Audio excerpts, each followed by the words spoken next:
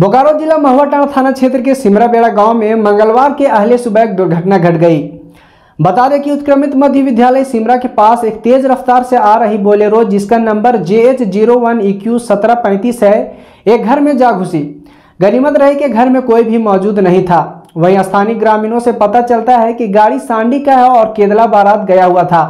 बारात से वापस लौटने के क्रम में गाड़ी चलाते समय ड्राइवर की आँख लग जाने के कारण गाड़ी सीधे घर के अंदर जा घुसी। दुर्घटना के बाद बोलेरो ड्राइवर घटनास्थल से गाड़ी छोड़कर भाग गया।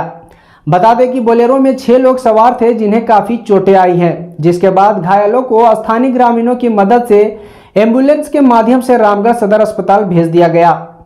वहीं घटना की जानकारी मिलते ही महुआ टाड़ पुलिस द्वारा घटनास्थल पर पहुंचकर बोलेरो को ट्रैक्टर के माध्यम से थाना ले जाया गया।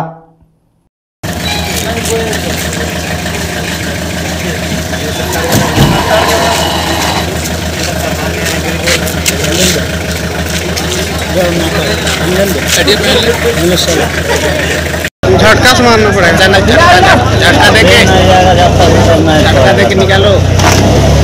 अरे दीवार वाल गिर जाएगा गिरेगा। झटका हम यहाँ बैठे हुए थे चार बज रहा था टाइम ठीक ना? उसमें से गाड़ी आया। गाड़ी का आवाज़ तो हम उधरे से सुन रहे थे पूरा बाय में था गाड़ी है ना? आया धड़ाम के मारा तो हम यहाँ से बैठल निकले। तो ड्राइवर को गाली गलौज करने लगे ड्राइवर उतर के भाग गया। बीच वाला सीट से भागा है ड्राइवर। ये कितना बजे का घटना? चार बजे।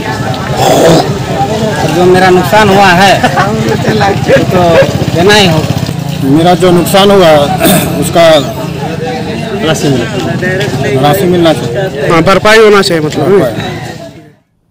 और अधिक खबरों के लिए देखते रहें झारखंड न्यूज़ नाइन।